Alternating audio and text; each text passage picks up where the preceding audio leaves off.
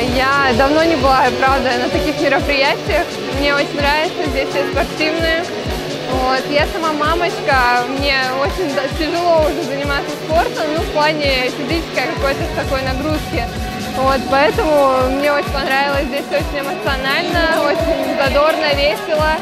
Вот, и я рада, что меня пригласили на такое мероприятие привести себя в форму. Я поздравляю всех а, с таким праздником.